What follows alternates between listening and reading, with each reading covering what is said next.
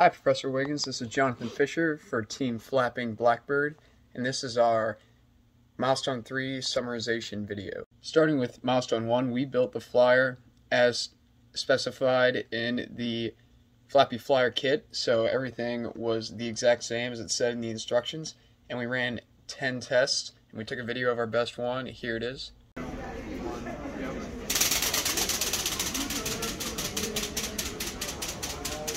I'll keep going.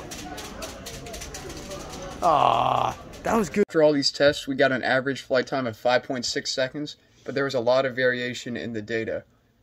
However, we are concerned that changing the design extremely would have a negative effect considering how fragile the flyer is in and of itself. We wanted to keep our variations simple and easy to measure. We observed during milestone 1 that in flight the flyer kind of had a oscillatory motion. It would go up and then swing back and do that over and over and over again. And sometimes it would go up so high that it would turn around and just nosedive straight into the ground.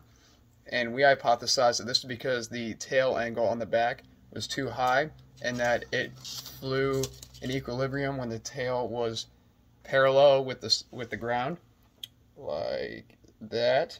So we decided that there would be a more consistent flight path and longer flight time if we decrease that tail angle. And heading into milestone two, we figured out the optimum tail angle for prolonged flight. Find all the requirements and laid out the whole process in our V diagram.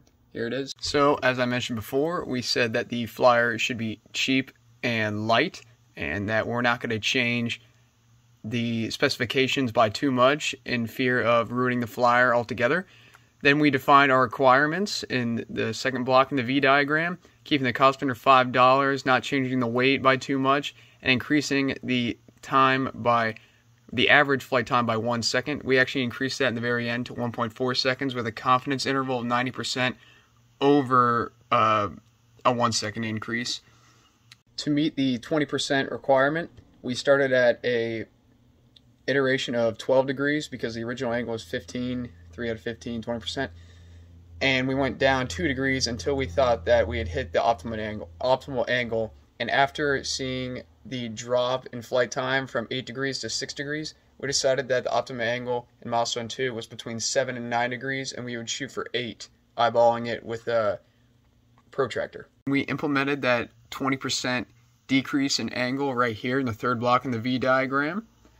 Going into milestone 2 testing, we, of course, were concerned with how many tests we were going to run, and we wanted to reinforce a lot of the inserts and what uh, spar connections on the Flappy Flyer, and we put that right here in our V diagram because that uh, that changed the performance almost as much as the tail angle, just making sure that the flyer was in good condition before each trial. Heading into milestone three, we wanted to run 10 more tests with the tail angle of 8 degrees and see if we could get a mean flight time of over 7 seconds with a confidence interval lower bound over 6.6 seconds at 90%. We felt that if we accomplished that, then we hit all of our design specifications and no more iterations need to be made. Unfortunately, we did not get a video of our best flight time as we forgot to record our extra 10 tests for milestone 3, but we do have two videos, one of us testing after the fact and one from class on Wednesday. Here they are.